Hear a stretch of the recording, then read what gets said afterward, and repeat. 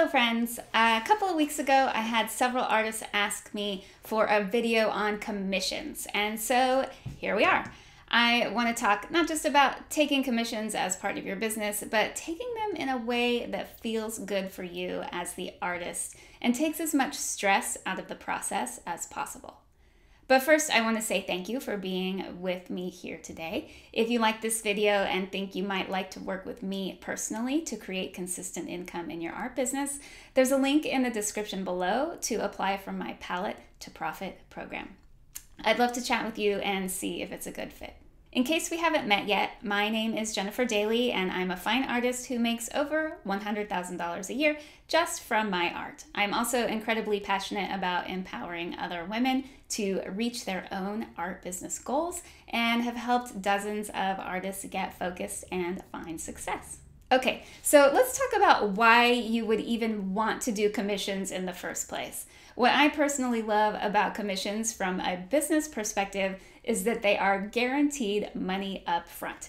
If you have your contract set up correctly, you'll take a deposit up front and the rest upon completion of the painting. I also charge more for commissions than for a painting available on my website so, financially, they can be an important part of your business. I also like to offer commissions because people often want or need a painting in a custom size or colorway to fit their space. And offering commissions allows you to meet these clients' needs when they might otherwise not be able to make a standard size painting work for them.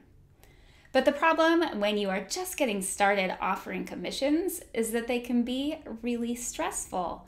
Making something with someone else's specifications in mind often takes some of the fun out of the artistic process, especially if you're making work outside of your usual style.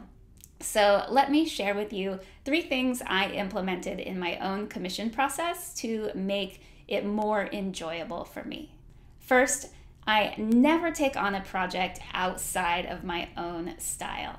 I paint calm, layered abstract paintings. So if someone wants to commission me for a landscape or a portrait or even just something in a color palette that I wouldn't normally use, I just say no. If someone sends me a picture of another artist's work and asks if I can make something similar, I just say no to that too.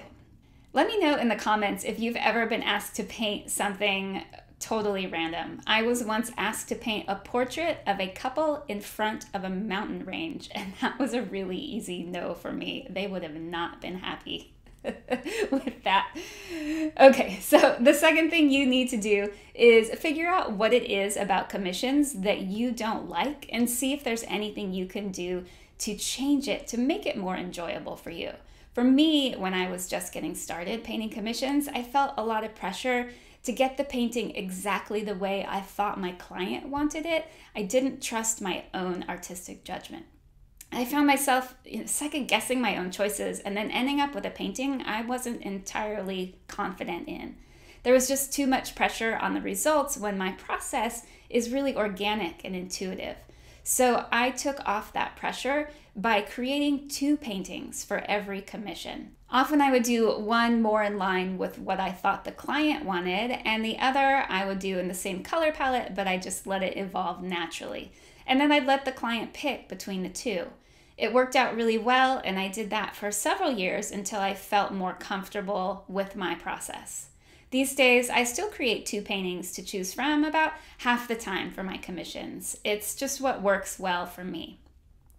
The third thing you need to do to make the commission process more enjoyable is to have a contract that outlines exactly what you are providing for your client, the payment schedule, and most importantly, how many times you are willing to make changes for the client.